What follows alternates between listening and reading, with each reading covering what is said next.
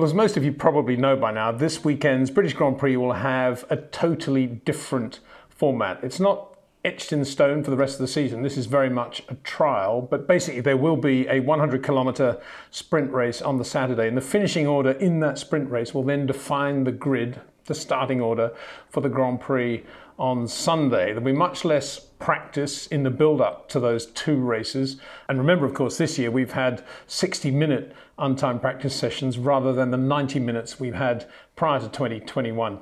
Anyway, let's look at the repercussions of that, what it really means for the teams. There's quite a lot out there on the internet at the moment, talking about the format and how difficult it's going to be and set up and going into Parc Fermé early, all these things. But what does that actually mean? Well, the first thing is that the business, the skill, if you like, of trying to use the race compound in what is Q2 or used to be Q2 for the big race has gone away. Now, all the teams, regardless whether you qualify in the top 10 or not, can choose what tyres they want to race on the actual day of the race. So that is a big change. That skill has gone away. We kind of saw it go away already at the French Grand Prix when everybody went out on Q2 in, on medium tyres. So uh, I guess that was the sort of death knell of all that. It will come back, of course, um, the next race where there's no sprint race, that system will come back. But for this one, there is no, oh, he's on mediums in Q2. Wow, what a lap time. None of that anymore. The Lando Norris syndrome from Austria, if you like.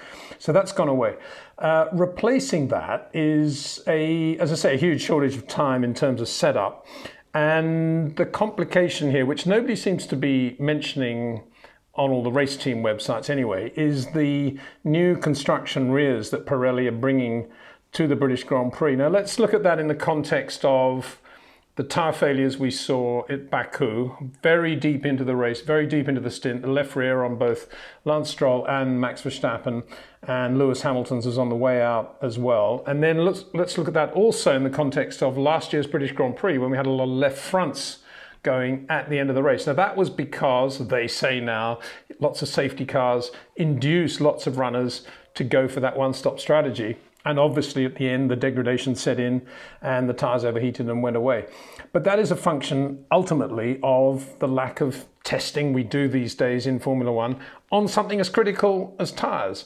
And so we go to Silverstone 2021, hoping there'll be no more tyre dramas, a new rear construction, and even less time on the circuit to run it and test it than ever before.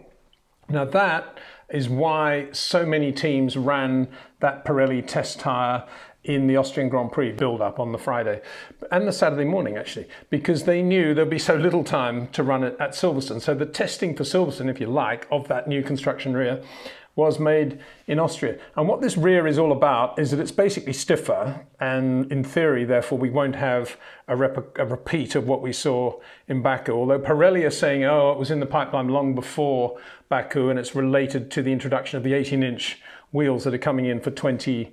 22. So be that as it may, they've done a, if, if it was a, if it was a reaction to Baku, they've done a very good job to get it out quickly. So probably it does have that longer history. And what it now means as we go into Silverstone for this historic weekend is that the teams can now run two psi lower at the back. Which gives them more feel, more compliance. That's good news for the drivers, good news for the teams. The construction is stiffer but the fronts are remaining the same. This isn't an insoluble problem. Basically, what it means in mechanical suspension terms is that it's, it's the effect of having a stiffer front bar or a softer rear bar. And in theory, there will be, I'm sure the simulators will say, okay, well, if we're doing that and we're running two pounds lower at the rear, we can definitely go a little bit stiffer at the rear or whatever they want to do, and they can compensate effectively with roll bars.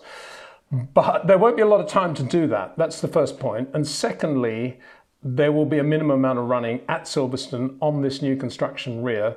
And already we know that the front, the left front, is a tyre that can be punished at Silverstone as well. So we're going into what is potentially the most important tyre weekend of the year so far. New rear, left front was a big issue last year, with a new, very compacted format that gives the teams even less time and chance to adapt to all that, to understand it, and to make it all work. So I think that is that's something to bear in mind. Who am I to say that's a good thing, a bad thing? Obviously, the teams have said, "Yeah, we're prepared to do this. We'll go along with it." So we'll see what happens.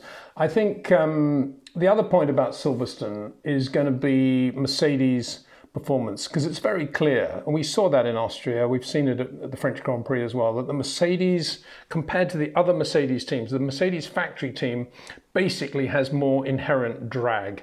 It's not as quick on the straight as any of the other three Mercedes teams, but that's because it's got more inherent downforce.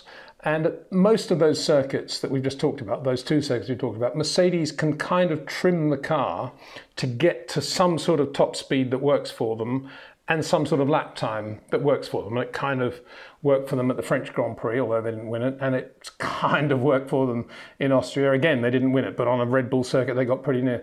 Here's the thing though Silverstone, you've got from the complex right round, basically braking into Stowe. Uh, well, probably a lift, a downshift in the middle of Beckett's, but you've got it's basically flat. And there are going to be areas not DRS flat as well. There are going to be areas there where the Mercedes is going to be flat, and let's say the McLaren is going to be flat, but the McLaren probably will be quicker because it doesn't have as much downforce and it can still get through Copse flat. So there's more time around Silverstone, as I see it, for a McLaren which has less downforce to gain on a Mercedes which has more downforce but isn't as quick through the air, if you see what I mean. It's a lot of full throttle motoring, in other words. The Mercedes will pick up on the slow bits, the slower bits, because of its downforce level. But um, it'll be really interesting, I think, to see how Mercedes face up to that issue. Whether they can take inherent downforce out of the car and make it quicker through the air is, I think, one of the big questions of Silverstone.